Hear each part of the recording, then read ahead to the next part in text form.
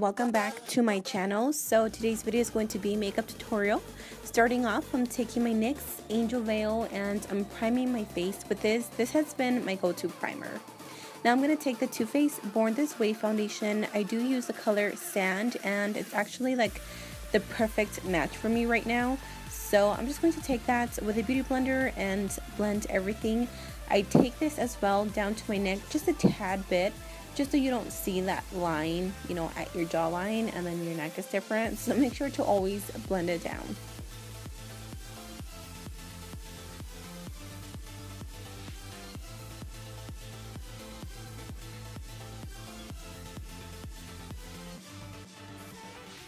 Now I'm going to take the MAC Pro Longwear Concealer and I'm going to take just one pump and I'm going to apply that to both my under eyes I believe I am the color NW25 and I do like to take that with my beauty blender as well and just blend everything to make sure that everything is nice and smooth and then whatever is left I do like to take that to my chin to the middle of my forehead and then a little bit to the center of my nose and up to my eyelids to use it as a primer.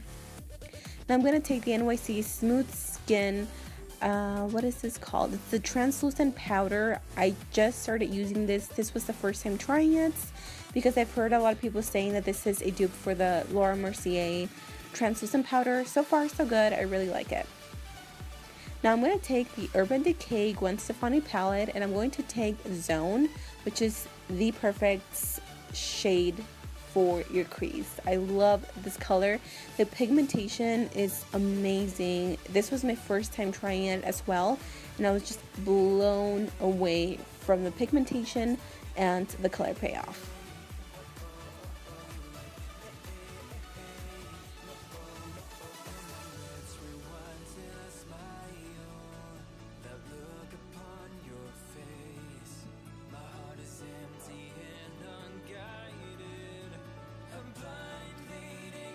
Now I'm going to go into my second color and I'm going to take this one right here which is, what is this called? It's called Punk and it is so pretty. Like that is so pigmented. You can see right here that I was like, whoa, that's a lot. So definitely a little bit goes a long, long way. You don't need too much. I like to apply that to the outer corner first and then I just go in and gradually bring it in just because I don't want to concentrate the color too much into the beginning of the eyelid. I want this to be mostly concentrated towards the end. And then I do go back as always and start blending everything out to make sure that there are no harsh lines.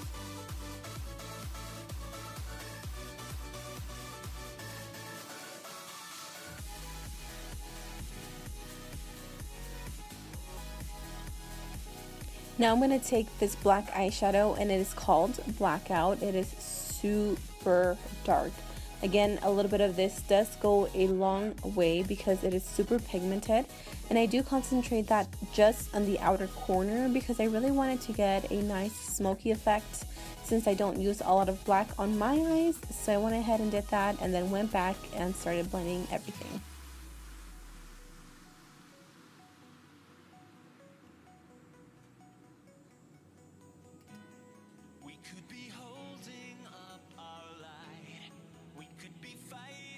Now I'm going to take this third color right here on the palettes and that is called Skimp and I'm going to use this as a brow bone highlight. This is when I realized that I did not carve out my brows and it was driving me crazy. So I'm just going to go ahead and blend that. Now I'm going to take the e.l.f. Glitter Primer and I'm going to apply this to the back of my hand. I just feel like it's the easiest way and I apply that to my lid, just a little bit to the center of the lid. I'm going to go ahead and take two eyeshadows. I'm going to take Steady and Pop. I'm going to mix them and apply them to the lid. The reason why I use that glitter primer is because I really want them to stick on my lid. I don't want them to have any fallout or anything like that. I love, love, love the e.l.f. glitter primer. I think it's amazing and it's only a dollar.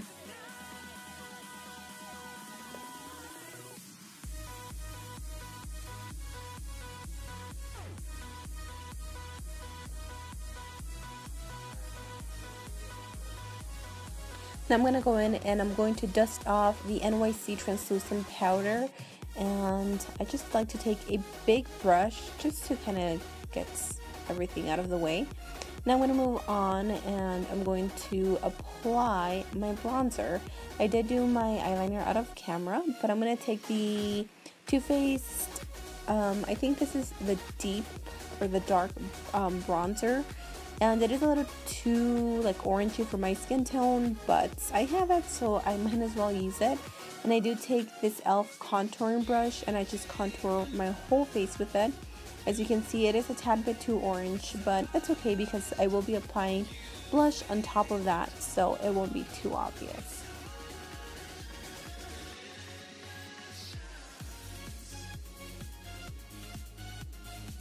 Now I'm going to use the Bahama Mama bronzer as always and my e.l.f. contouring brush. This is just like my holy grail stuff. So I'm going to take those and I'm going to carve out my cheekbones and then as always blending that out just so I don't have just a straight line going, you know, from my ear down to my mouth. Now I'm going to take this City Color Cosmetics blush and this is in the color, I believe a Sunset Safari. I will have it down below if it's not the right one. But I love this blush. I think it just goes with everything. Now for the under eyes, I'm going to use a black gel eyeliner. Just use whatever you have. This is by the brand's Mica Beauty. I got this on one of my um, BoxyCharm boxes and I'm going to be outlining the outer, like the uh, where, where your lashes are. So I'm just going to be doing that and then in the inner corner I'm going to be making like a little wing. It's kind of hard to explain but I'm sure you guys have seen this technique before. I really like it and I think it's pretty cool. And then I go back and I just make sure that I fill in my waterline. And then I do go back to that eyeshadow blackout and I apply it to the waterline just to make sure that that eyeliner doesn't smudge. Now for my highlight, I am taking the Balms Mary-Lou Manizer and I'm applying that to the highest points of my cheekbones. I also take that to my nose, to my chin, and then to the sides of like my forehead. Now for the lips, I didn't know what I was going to go with and I just kind of went with this and I liked it. This is one of the new BH Cosmetics liquid lipsticks. I believe this is in the color Ciara. It is currently sold out, but I think they will be back in stock soon. So if you haven't gotten a chance to play with them, I highly suggest them. I really like them so far. So after that, you are all done with this look. I hope you guys enjoy it. Stay tuned so you can know my review on this palette. Thank you guys for watching, and I'll talk to you soon. Bye!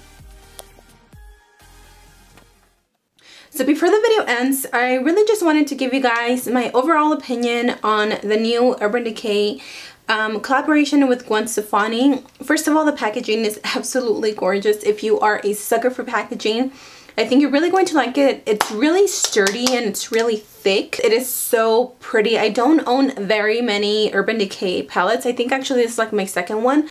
With that said though, this was the first time that I did use this palettes on my eyes and I was blown away by the pigmentation.